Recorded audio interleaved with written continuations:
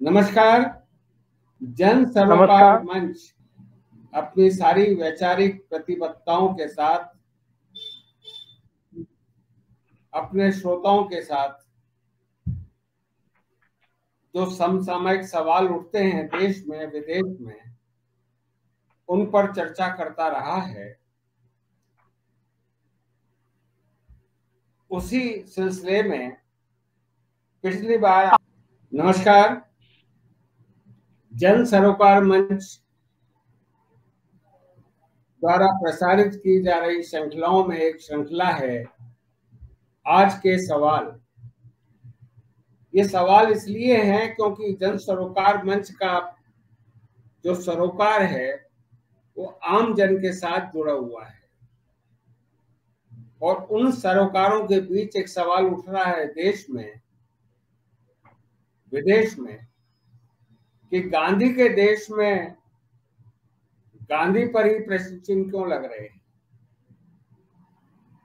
इस संबंध में आदरणीय प्रकाश जी जैन जिनका एक विस्तृत अध्ययन है, गांधी दर्शन पर लेके गांधी साहित्य को लेकर, पिछले एपिसोड में आपने कुछ अपने संबोधन में ये क्लियर किया था कि भाई सवाल किन मुद्दों को लेकर उठ रहे हैं और उनकी वास्तविकता क्या है।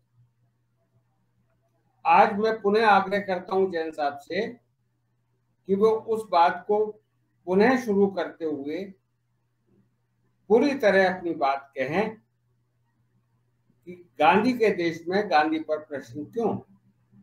आदरणीय जैन साहब। नमस्कार, सभी प्रबुद्ध श्रोतागण।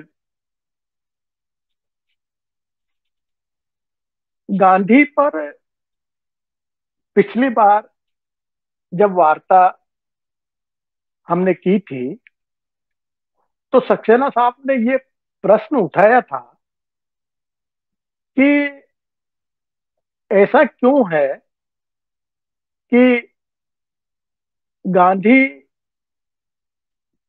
को मानने वाले भारत के बाहर ज़्यादा है और भारत में गांधी पर प्रश्न उठाने वाले ज़्यादा है। तो इस संबंध में एक प्रसंग बताते हुए मैं अपनी बात रखूँगा। खान अब्दुल गफ्फार खान आज़ाद भारत में जब भारत आए थे, तब उनसे प्रश्न किसी ने पूछा था कि महात्मा बुद्ध भारत में पैदा हुए और बौद्ध धर्म का जो व्यापक फैलाव हुआ, वो भारत के बाहर हुआ। और करीब करीब बौद्ध धर्म भारत से विलुप्त सा हो गया। तो क्या यही बात गांधी पर लागू होती है?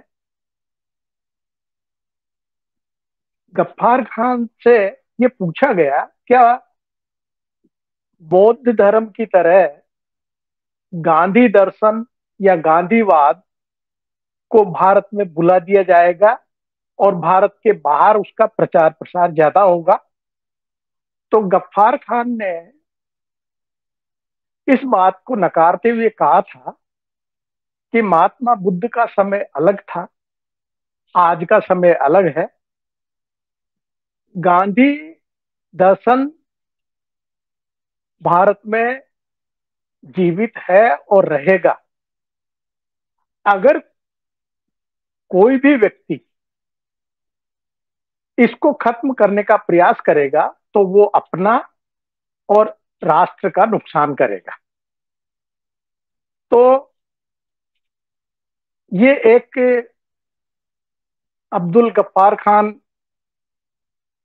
का संस्मरण जो है, इस संदर्भ में मैंने देना उचित समझा कि इस वार्ता का मुख्य जो आधार है वो ये है कि गांधी पर प्रश्न क्यों? पिछली बार मैंने बताया था कि कुछ लोग हैं जो गांधी की कई बातों का विरोध करते हैं और कई बातों के लिए गांधी को जिम्मेदार ठहराते हैं। आज जिस बात के लिए वो गांधी को जिम्मेदार ठहराते हैं, उसमें सबसे मुख्य बिंदु जो मैं लूँगा वो ये है कि गांधी पर ये बार बार इल्ज़ाम लगाया जाता है कि गांधी ने भगत सिंह, राजगुरु और सुखदेव की फांसी रुकवाने का प्रयास नहीं किया। यदि वो फांसी रुकवाने का प्रयास करते तो ये फांसी रुक सकती थी। अब पहली बात तो मैं ये इल्ज़ाम लगाने वालों से ये पूछना चाहूँगा कि गांधी किस हैसियत से वो ये प्रयास करते। क्या हैसियत थी? क्या ब्रिटिश सरकार गांधी की हर बात को मानने को लिए तैयार थी? या गांधी का प्रभाव क्या ऐसा था कि ब्रिटिश सरकार उनकी हर बात को स्वीकार करने के लिए तैयार थी? जबकि हम देखते हैं कि ब्रिटिश सरकार के लिए सबसे बड़ी जो मुसीबत थी, वो गांधी थी। गांधी की विचारधारा और गांधी के तरीके ने ही अंग्रेज़ों को परेशान किया हुआ था। तो मेरी ये बात समझ में नहीं आती है कि ये कैसे समझा जा सकता है कि गांधी अगर वायस राय को कहते और ये फांसी रुक जाती। खैर, पहली बात तो ये ध्यान रखें कि गांधी ऐसे व्यक्ति थे जिन्होंने अपने स्वयं के लिए ब्रिटिश शासन से माफ़ी न मांगते हुए अपने विरुद्ध कड़ी से कड़ी कार्यवाही करने की मांग की है। कई मर्तबा जब भी वो गिरफ़्तार हुए हैं और जब भी उन पर मुकदमा चला है तो गांधी ने कभी अपना बचाव नहीं किया, बल्कि जज को ये कहा, यदि मैंने आपके कानून को तोड़ा है तो मुझे कानूनन सजा दी जाए। एक बात। दूसरी बात, भगत सिंह की फांसी रुकवाने के प्रयासों के बारे में मैं बात करूँ, उससे पहले थोड़ा ये जान लें कि भगत सिंह को किन कारणों से फांसी की सजा दी गई थी और भगत सिंह का व्यक्तित्व और उनका जीवन दर्शन क्या था? संक्षेप में इस बात को समझ लें। देखिए, भगत सिंह एक ऐसे क्रांतिकारी थे जो अपने समय के उन के जो साथ के जितने भी लोग थे, उनमें बहुत पढ़े लिखे व्यक्तियों में से एक थे। भगत सिंह का स्वभाव अगर हम कहें तो एक तरह से पढ़ाकू का स्वभाव था। बहुत पढ़ते थे वो। बहुत अध्ययन करते थे। इसलिए वो न केवल क्रांतिकारी थे, बल्कि बड़े विचारक थे और बड़े लेखक थे। हिंदू हिंदी, अंग्रेज़ी, उर्दू में समान अधिकार रखते थे। और दुनिया भर के क्रांतिकारी विचारकों, दार्शनिकों को उन्होंने खूब पढ़ा है। और वो एक धर्मनिरपेक्ष क्रांतिकारी भी थे। भगत सिंह सांप्रदायिकता को भी साम्राज्यवाद से कम खतरनाक नहीं मानते थे। हमेशा सांप्रदायिकता का उन्होंने विरोध किया। तो धर्मनिरपेक्ष भी थे, क्रांतिकारी भी थे, साहसी थे, देश के लिए जान देने वाले व्यक्ति थे। और इसके अलावा उनका जो, उनकी जो सोच थी, वो ये सोच थी कि भारत की राजनीतिक आज़ादी ही पर्याप्त नहीं है। भारत की सामाजिक, आर्थिक सांस्कृतिक आज़ादी भी उतनी ही महत्वपूर्ण है। यदि कोई भी शासक जाति, वर्ग, धर्म के आधार पर भेदभाव करता है तो हमें उसका विरोध करना होगा, चाहे वो ब्रिटिशर्स हो, चाहे वो स्वदेशी शासक हो। तो जात पात की व्यवस्था ऊंच नीच की व्यवस्था के भी वो घोर विरोधी थे। एक उनके जीवन का विशेष गुण था कि वो अपने जीवन के बाद के काल में बड़े नास्तिक हो गए थे। इसलिए नहीं हो गए थे कि भाई जैसे किस कहीं पढ़ लिया कि ईश्वर है तो आस्तिक हो गए और किसी ने कह दिया कि ईश्वर नहीं है तो नास्तिक हो गए। उन्होंने अपने अध्ययन, अपने मनन के आधार पर अपने आप को नास्तिक कहा। अंतिम समय में जब उनको फांसी की सजा दी गई, तब भी उनके साथियों ने कहा था कि अंतिम समय में आप अपने प्रभु का स्मरण कर लीजिए। तो उन्होंने कहा कि मेरा कोई प्रभु नहीं है और मैं अपने जीवन की बचाने के लिए किसी ईश्वर की शरण में नहीं जाना पसंद करूँगा। तो इतना बड़ा साहस था उनमें। अब बात है कि किस बात के लिए फांसी हुई तो देखिए साइमन कमीशन आया था 1928 में। और लाहौर में उसकी साइमन कमीशन का विरोध करने का जो नेतृत्व था लाला लाला लाजपत राय का नेतृत्व था। वहाँ पर साइमन कमीशन का विरोध करने के कारण ब्रिटिश सिपाही सैंडर्स की लाठी से लालाजी घायल हो गए, बाद में 17 नवंबर 1928 को वो शहीद हो गए। अब देखिए, लाला लाजपत राय मूल रूप से हिंदू महासभाई थे, हालाँकि धर्मनिरपेक्ष थे, और भगत सिंह वामपंथी विचारधारा के थे। दोनों विपरीत विचारधाराओं के थे, परंतु भगत सिंह ने लाला जी की शहादत को राष्ट्रीय अपमान मानते हुए, कि सांडर्स द्वारा मारा गया, मारे गए लाला जी का बदला लिया जाना चाहिए।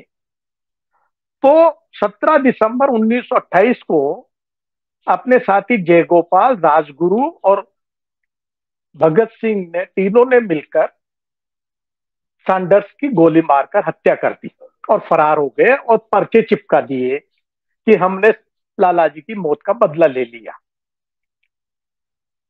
अब इसके बाद क्या हुआ कि 8 अप्रैल उन्नीस सौ उनतीस को बटुकेश्वर दत्त, भगत सिंह और जयदेव कपूर ये तीनों असेंबली में चले जाते हैं। वहाँ पर जयदेव कपूर को तो वापस पास लेकर भिजवा दिया जाता है और भगत सिंह और बटुकेश्वर दत्त असेंबली में बम फेंकते हैं।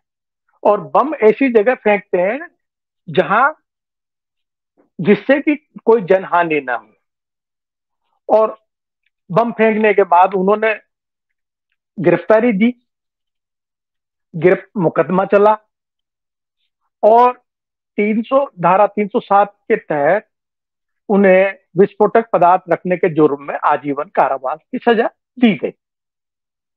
तब तक लाहौर षड्यंत्र कांड की गुत्थी नहीं सुलझी थी, परंतु स्पेशल कोर्ट बिठाकर लाहौर का कोर्ट की भी सुनवाई की गई जिसमें जज को फांसी देने का अधिकार दिया गया। सात अक्टूबर 1930 को जय गोपाल और हंसराज बोरा की गवाही से, मुखबिरी से जय राजगुरु सुखदेव और भगत सिंह को फांसी की सजा का सुनाई जाती है। अब फांसी की सजा सुनाने के बाद इन तीनों ने कहा कि भाई, ब्रिटिश सरकार हमें युद्ध बंद आनती है तो हमें गोली से उड़ा दिया जाए। तो देखिए, ये उनकी वीरता की पराकाष्ठा थी कि वो खुद जो है, एक मांग कर रहे थे, हमें युद्ध बंदी मानते हुए गोली से उड़ा दिया जाए। खैर 23 मार्च 1931 को तीनों को फांसी सजा दी गई। फांसी पर लटका दिया गया। हालाँकि फांसी की तारीख जो है 24 मार्च तय हुई थी। परंतु ब्रिटिश सरकार को यह अंदेशा था कि अगर पब्लिक में ये बात फैल गई 24 मार्च को उत्तेजना होगी और बड़े विरोध प्रदर्शन हो सकते हैं। इसलिए आप देखिए कि 23 मार्च को चुपचाप एक दिन पहले तीनों को फांसी पर लटका दिया गया। अब प्रश्न ये आता है कि क्या इस फांसी को रुकवाने के लिए गांधी ने कोई प्रयास किए या नहीं किए? तो मित्रों, बात यह है, गांधी ने एक बार नहीं बार बार इन तीनों की फांसी रुकवाने के प्रयास किए। अब किस तरह से किए, ये देखने वाली बात है। ये पब्लिक डोमेन पे है, सब चीज़ें। देखिए सविनय अवैज्ञा आंदोलन के जुर्म में गांधी को गिरफ़्तार कर लिया गया था। और गांधी को इस गिरफ्तारी से जो मुक्ति मिली, वो 26 जनवरी 1931 को मिली। और वायसराय इरविन से उसे शांति वार्ता के लिए गांधी को 27 जनवरी से वार्ता के लिए आमंत्रित किया। तो 27 से लेकर तीन दिन तक जो गांधी और इरविन के बीच वार्ता चली, उसमें गांधी ने प्रत्येक दिन शांति वार्ता के बिंदुओं पर बात करने से पहले वायस राय को बार बार ये कहा कि इन तीनों की फांसी की सजा मुलतवी की जानी चाहिए। उससे शांति प्रक्रिया पर सकारात्मक प्रभाव पड़ेगा। अब वायसराय ने क्या किया? गांधी को आश्वासन देते रहे कि मैं सजा तो बिल्कुल रद्द नहीं कर सकता, पर सजा कम करने का प्रयास कर सकता हूँ। गांधी को आशा बंधी कि भाई ये सजा, फांसी की सजा दो है, बदल जाएगी और वो आजीवन कारावास या कुछ वर्षों के कारावास में बदल जाएगी। तो पहला तो ये तथ्य है कि लास्ट 27 जनवरी से तीन दिन तक चली शांति वार्ता में गांधी ने तीनों की फांसी को रुकवाने का बार बार आग्रह किया था। अब यहाँ पर आप देखिए, ब्रिटिश शासकों की एक कुटिल चाल थी कि गांधी को एक तरफ़ तो ये भरोसा देते रहे कि हाँ फांसी की सजा करने को मुलतवी या रद्द करने का प्रयास करूँगा। और दूसरी तरफ़ आप देखिए कि 23 मार्च को ही उन्होंने तीनों को फांसी पर लटका दिया।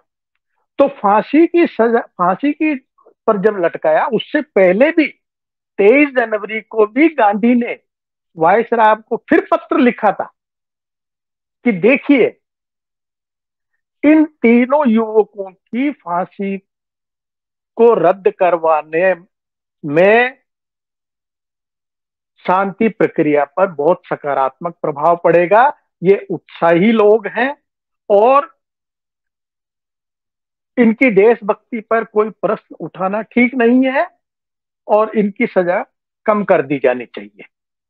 आप देखिए, इधर 23 मार्च को गांधी पत्र लिखते हैं और 23 मार्च को रात को अंधेरे में ही उनको चुपचाप फांसी पर लटका दिया जाता है। तो ऐसा नहीं है कि गांधी ने प्रयास नहीं किया। और उस गांधी ने, जो गांधी अपने अपराधों के लिए ब्रिटिश जज से कड़ी से कड़ी सजा की मांग करते थे। उन्होंने तीनों की सजा को रद्द करवाने के लिए बार बार निवेदन किया, लिखा। ऐसा नहीं है कि गांधी ने प्रयास नहीं किया। हाँ यह है कि गांधी को अंधेरे में रखा और फांसी दे दी गई, ताकि, अरे, एक और मैसेज देना चाह रहे थे। वो ये युवकों में ये मैसेज देना चाह रहे थे कि गांधी के खिलाफ जो है युवाओं में रोष हो जाए कि गांधी ने कोई प्रयास नहीं किया और कांग्रेस की और गांधी की बदनामी हो। संयोग से 26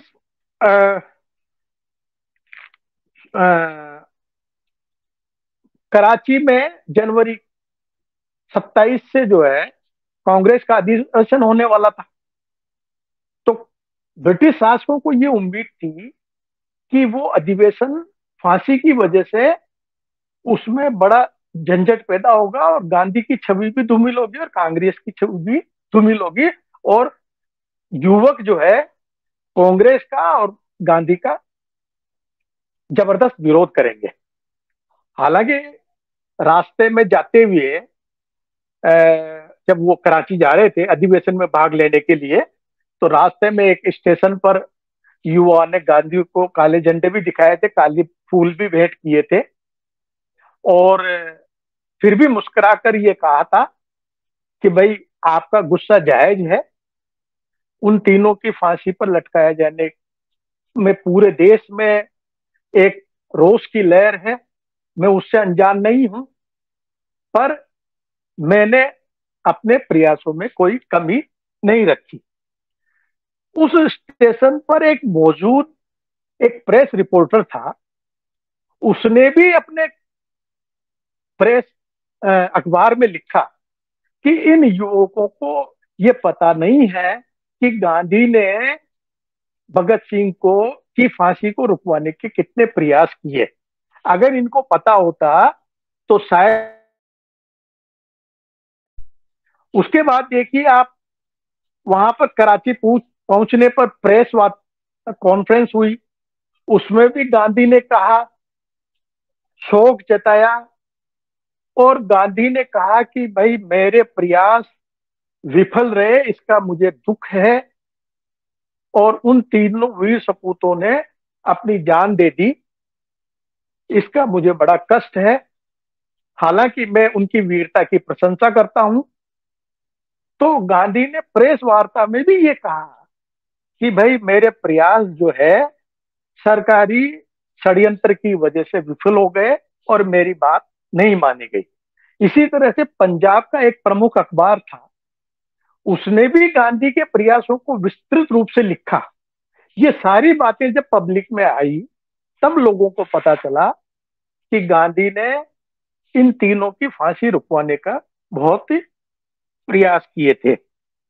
और कांग्रेस अधिवेशन के समाप्ति पर उन तीनों के शहादत पर लंबा शोक प्रस्ताव पारित किया गया।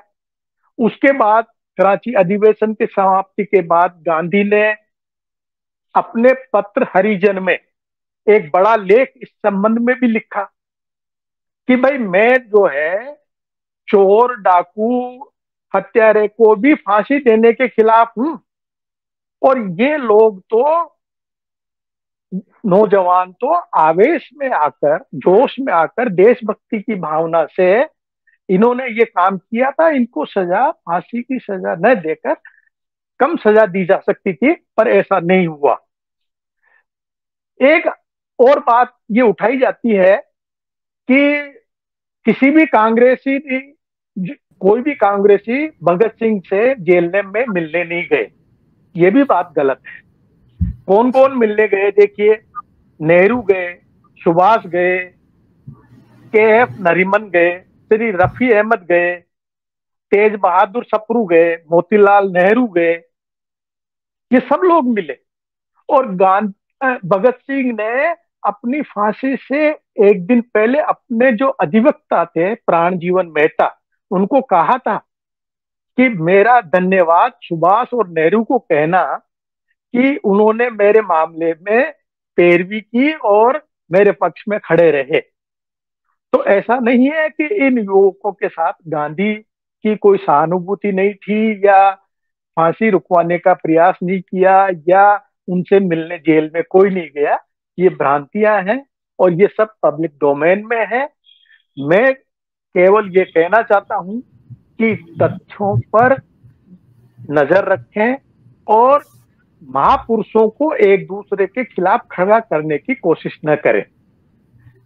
अंतिम बात अंतिम बात अंतिम बात भगत सिंह ऐसे भावुक होकर या आवेश में आकर किसी की जान लेने वाले व्यक्तियों में नहीं थे। उन्होंने अपने लेख में लिखा कि मुझे मानव जीवन से बड़ा प्रेम है और मैं किसी की जो है जान लेने के पक्ष में नहीं हूँ। मानव जीवन को मैं उतना ही प्रेम करता हूँ जितना दूसरा प्रेम करते हैं। तो पर क्या है कि अगर बहुत ज़रूरी हो, बहुत आवश्यक हो तो ही हिंसा का सहारा लिया जा सकता है, वो ये कहते हैं। हर छोटी बात के लिए हिंसा का विरोधी मैं भी हूँ। तो कहने का मतलब यह है, आज वक्त भगत सिंह को लेकर ये बहस करने का नहीं है कि हिंसा या अहिंसा क्या ज़रूरी है क्या ज़रूरी नहीं है। देखिए, भगत सिंह के कदम भी अहिंसा की तरफ़ ही मुड़ रहे थे। उन्होंने अपने लेख से सिद्ध किया, उनकी चेतना का विकास भी उधर ही हो रहा था। पर आज वक्त उस बहस का नहीं है। वक्त इस बात का है